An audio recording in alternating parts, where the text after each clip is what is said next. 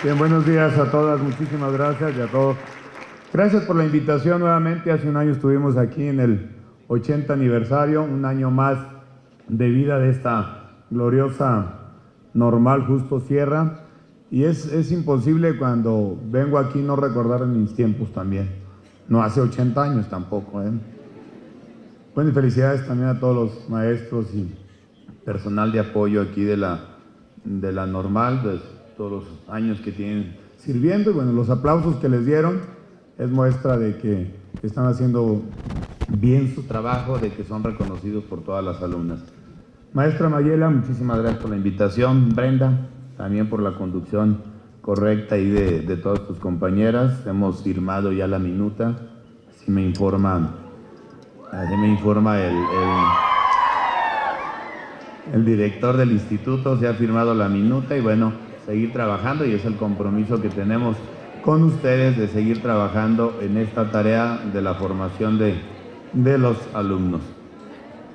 Pues a ver, las normales rurales, que es en la segunda década del, del siglo pasado, José Vasconcelos, iniciando con esta gran, con gran, este gran proyecto, este gran reto de llevar hacia los lugares más remotos hacia los rincones de este país, la educación y la iniciación de la cultura. Y dentro de esos, de esos lugares escondidos, ahí estaba la Sierra de Jalisco. Por eso les digo que es imposible no recordar. Pero hace más de 40 años, no tengo tanto, pero sí, más de 40 años, pues llegó un maestro rural también a esa comunidad, esa Sierra de Jalisco, se llamaba el maestro Bernardo. Fíjense cómo se acuerda uno bien de los buenos maestros. Maestro Bernardo. Y supongo que es el reto de cada una de ustedes, y cada uno de ustedes también de los eh, jóvenes estudiantes que nos acompañan de otras normales. Es el reto, ¿no? Que después de los 40, 50 o 100 años se acuerde uno de sus maestros rurales. Porque no lo hacían solamente de maestros, ¿eh? Lo hacían de todo hasta de doctores lo hacían, hasta recetaban cualquier, en cualquier apoyo que se requería en esas comunidades. En el fondo, o sea, tenían que hacer jornadas, eran jornadas de todo el día, ahí no había jornada de ciertas horas, ahí no se quejaban de un horario u otro, eh, ahí vivían, ahí la gente les ayudaba a que comieran, a veces no había eh, casa para los maestros, luego se fue construyendo, pero trabajaban en la mañana, en la tarde y en la noche, ayudaban a todo lo que se requería, hasta preparar la fiesta de la comunidad. Y bueno, la verdad es que recordar todo eso y decir y ser agradecidos, porque al final, pues con ese maestro Bernardo, pues de ahí surge el interés también de seguir preparándome y de cumplir mis sueños que ahorita estoy realizando. Pues gracias a esos, a los maestros, a las maestras rurales que realmente desde hace muchos años han llevado justamente esta instrucción educativa y cultural a las comunidades más lejanas. Y también el reconocimiento de lo que han obtenido aquí en esta normal Justo Sierra. La licenciatura en educación primaria ha sido distinguida por su calidad.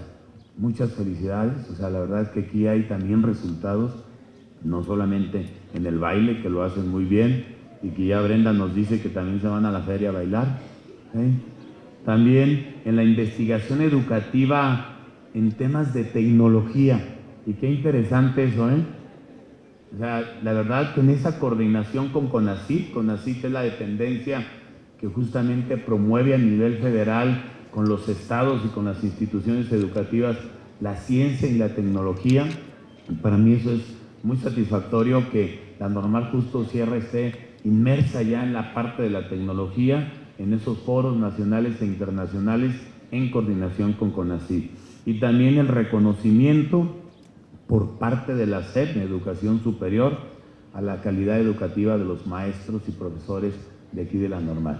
La verdad, muchas, muchas felicidades. Es un gran trabajo de parte de todo un equipo, de la maestra Mayela, de todos los que colaboran aquí. Bueno, y a nosotros como gobierno solamente nos queda seguir colaborando, seguir trabajando de la mano y también poniendo las condiciones.